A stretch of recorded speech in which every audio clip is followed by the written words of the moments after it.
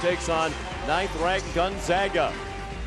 The winner will advance to tomorrow night's championship game of the 22nd annual EA Sports Maui Invitational to meet the winner of the game.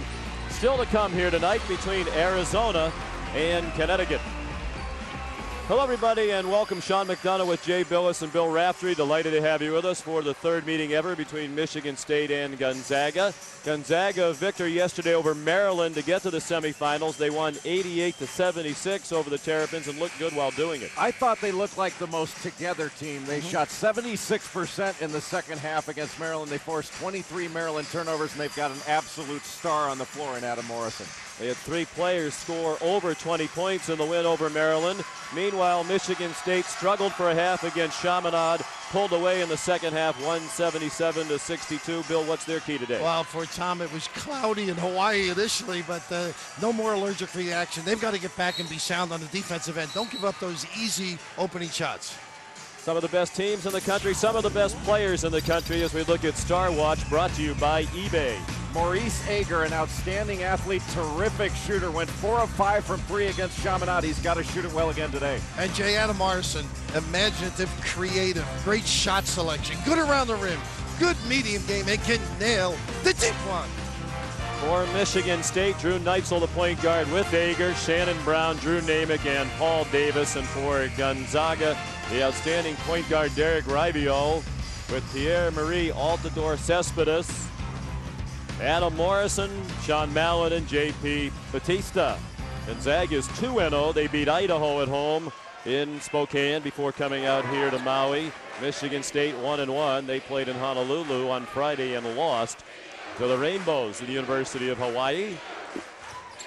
And the trip, the tip controlled by J.P. Batista for Gonzaga dressed in white. And Sean, J. Michigan State goes man Maurice Ager guarding Adam Morrison. Batista off to a great start this season, but not in this game as he gets called for a foul, trying to clear out some space inside. And Sean, it was interesting that Tom talking about Naymick being not as physical as they would like because of the shoulder injury. Tom Izzo feeling that's a key, playing Batista tough down in the box. And Gonzaga starting out in man-to-man. -man. They played a 2-3 zone against Maryland. They'll have to play some zone today because Michigan State runs so many sets. Paul Davis the miss and Batista the rebound. Batista scored more than 20 points in each of their two games so far this year. Mallon, a tough runner over Davis. Mallon got his own rebound. Raivio, an excellent shooter, and he rattles one in for the first bucket of the ball game. Good, quick feet. He's unorthodox quick. That's why he's hard to guard, in my opinion. He's a really good player. Good ball movement, and it's Ager for two out of the corner. Maurice Ager, senior from Detroit. Tom Izzo says he might be the best two guard that they've had at Michigan State during his tenure, and perhaps back even longer than that. They've had some outstanding players at that position. Uh, you th thinking of Reshford, I guess, and Steve Smith. Uh, the difficulty, I think, for Ager the first day, a little bit of a struggle. One of the great wing performers. Mark Few in his seventh season as head coach at Gonzaga, winning as coach in the country right now by percentage at 81.3%. Been in the NCAA tournament all seven years with the Zags and should be again this year. Davis setting the little screen and then immediately ducking in and getting into Mallon. Mallon was on the high side, but you have got to keep him, Davis, from getting into you physically because he'll just seal you off inside. Mallon called for the foul, his first, 2-2 the score. Paul Davis, the senior, short with the shot. And a foul on the rebounding action against Maurice Ager. I like to see Davis looking for a shot, though. I think he can contribute facing the basket, in low. Worked very hard off season, I think. No, he's one of the most improved big guys over the course of his career in the country, and he's turned into a star. One of the things you don't want to see from Davis when he puts the ball on the floor, you don't want to see him fade away from the basket, go into the contact. Adam Morrison Nice cut. He got it back from Batista, then gets stripped by Shannon Brown on the way up. Brown runs out with Neitzel who lays it in. Boy, that was a great pass by Shannon Brown. He made the defense commit and then dumped it off to Neitzel. Outstanding. Uh, all these teams have improved in a couple of days. They were messing up fast breaks earlier. Very sound look. And a three from Morrison.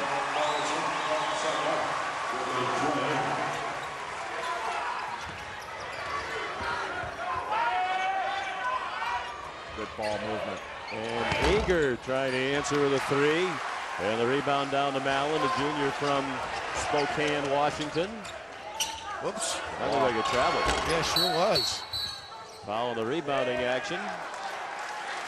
Donnie Gray, Mike Stewart, Mike Pitts are uh, the officials. And, and Sean, one of the great things about Morrison is his ability to extricate himself from traffic. Knows how to discard people, set them up, and he's got such a great stroke. And we saw yesterday his elevation. He can plumb bob on guards. Yeah, he's a good good athlete. What he does, he goes slow to fast. That makes him really hard to guard. And I think he has got a shampoo commercial in his future sometime.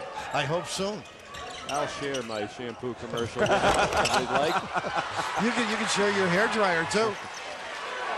Morrison, another three that really wasn't a big part of his game last year, nor was it yesterday.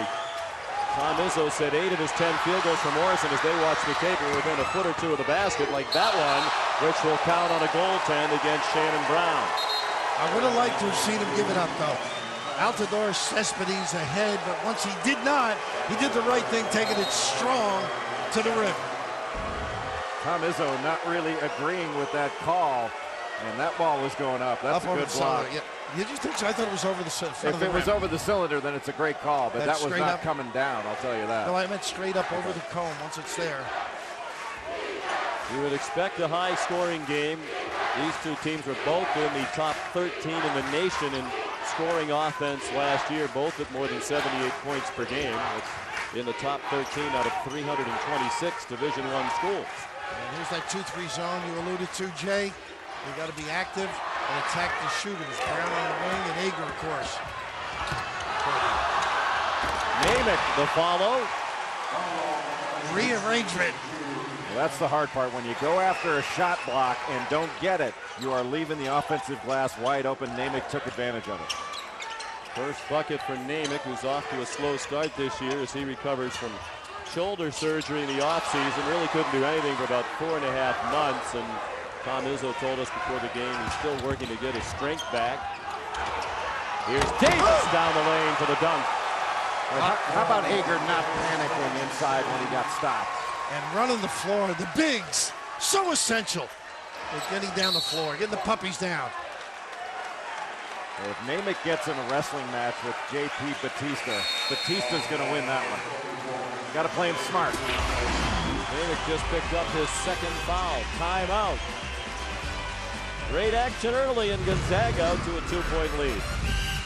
Great athletes in this game. It's hard to find two wings more athletic than Shannon Brown and Maurice Ager. Ooh, the 2-3 look right now. They do a nice job going opposite from the box. There's Batista. Jeremy Pargo has come in for Gonzaga at guard number two, and Drew Naymick is out with two fouls for Michigan State. Goran Suton is in for him.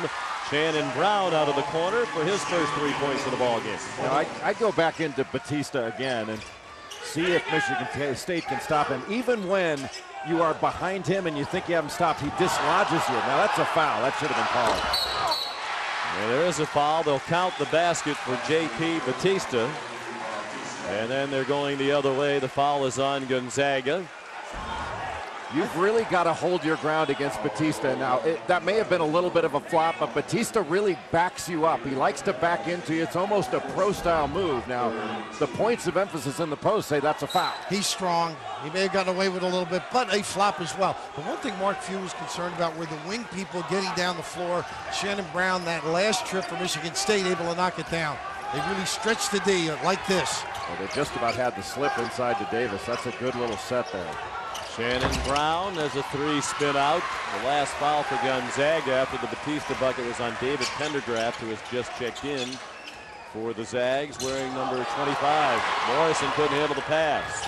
Brown and Ager. Oh! Is that unselfish and attractive. Well, you know what's great? In a two-on-one, they get to the rim. That ball never hit the floor. That was absolutely beautiful. All five players who started the game have scored for Michigan State. High low into Batista. A nice job with the dump down. Davis has got to face the ball. And of course, the pressure on the ball essential as well.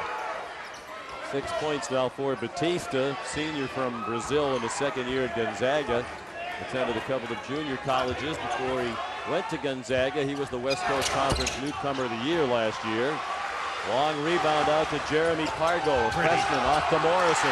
And look at Morrison run the floor. He started sprinting in anticipation before the ball was retrieved by Pargo. Well, he can smell the points Oh, at he the other can. end. Mark him down.